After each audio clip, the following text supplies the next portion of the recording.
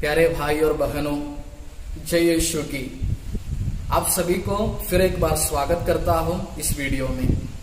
कृपया इस वीडियो को पूरा देखें और हमारे चैनल अभी तक सब्सक्राइब नहीं किए तो सब्सक्राइब कीजिए। तो चलिए शुरू करते हैं।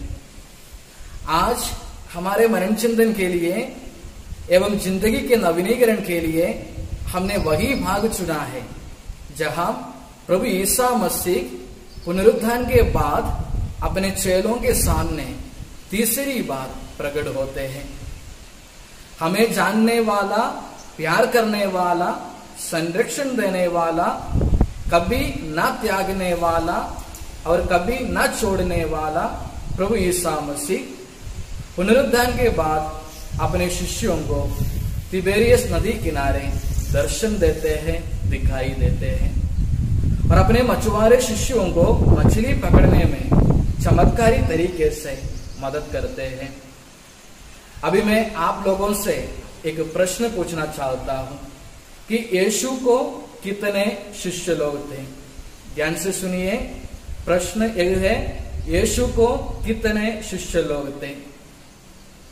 एक प्रश्न मैंने कई बार कैटीजम क्लास में बच्चों को पूछा है और उन्होंने हमेशा उत्तर दिया है फादर जी यीशु को, बारह शिष्य लोग थे। फिर मैं उनको समझाता हूँ कि यीशु को बहुत सारे शिष्य लोग थे और है। और मैं और आप, हम सब उनके शिष्यों में से एक है। क्योंकि जो भी व्यक्ति प्रभु को अपने मुक्तिदाता करके मानते हैं, उसका अनुकरण करते हैं और उनके वचनों के अनुसार जीवन बिताते हैं, वे सब प्रभु के शिष्य हैं। फिर एक बारह लोग, शिष्य नहीं तो कौन है? उसका नाम क्या है? ये बारह लोग, प्रेरित अथवा प्रेषित लोग हैं। They are not disciples but they are apostles प्रभु यीशु ने विशेष रूप से बारह चेलों को इसलिए चुन लिया था ताकि वे अपने मृत्यु के बाद भी अपने संदेश को आगे ले जा सके। लेकिन हमें मालूम है और समाचार में हम पढ़ते हैं कि यीशु के मृत्यु के बाद शिष्यों ने क्या किया। उन्होंने सोचा कि प्रभु यीशु की मृत्यु से सब कुछ खत्म हो गया। अब दूसरा कोई उपाय नहीं है। जीना है तो अपने पुराने जीवन शैली में, पुराने काम में वापस चले जाना है। पुराने धंधे शुरू करना है। इसलिए शिष्य लोगों के नेता पेत्रुस जाल बटोर कर घोषणा किया कि मैं मछली पकड़ने जा रहा हूँ। तो दूसरे शिष्यों को भी एक बात सही लगी और उन्होंने बोला, हम भी तुम्हारे साथ चलते हैं। और वे सब मछली पकड़ने चल पड़े। रात भर शिष्यों ने बहुत कोशिश की नाव के हर तरफ़ उन्होंने जाल डाला, लेकिन उन्हें एक भी मछली नहीं मिली।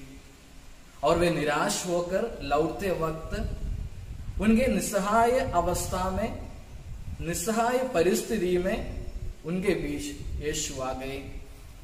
किंतु शिष्य उन्हें नहीं पहचान सके। ईसा ने उनसे कहा, बच्चों, खाने को कुछ मिला। उन्होंने उत्तर दिया, जी नहीं। और रात भर जाली डालकर थके मामले शिष्यों को यीशु ने कहा, नाव की दाहिनी ओर जाल डाल दो और तुम्हें मिलेगा। उन्होंने जाल डाला और इतनी मछलियाँ फंस गई कि वे जाल नहीं निकाल सके।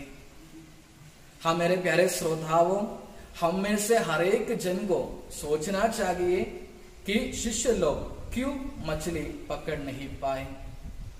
क्यों? समुद्र में मछलियाँ नहीं थे। ढेर सारे मछलियाँ थे।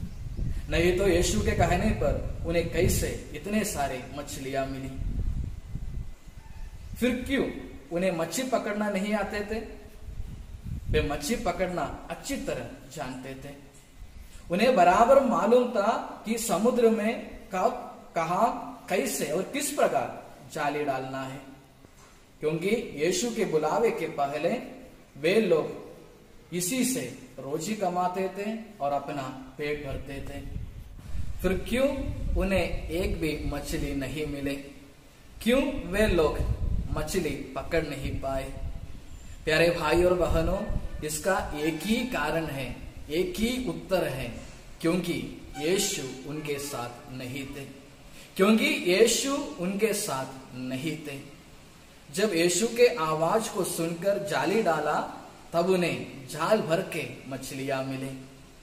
हमारी ज़िंदगी में भी अगर हम यीशु के आवाज़ को सुनकर जीवन बिताएँगे, कार्य करेंगे, कदम बढ़ाएँगे तो हम ज़रूर अद्भुत कार्य देखेंगे। कभी कभी हम बोलते हैं, शिकायत करते हैं कि कुछ भी काम ठीक नहीं हो रहा है।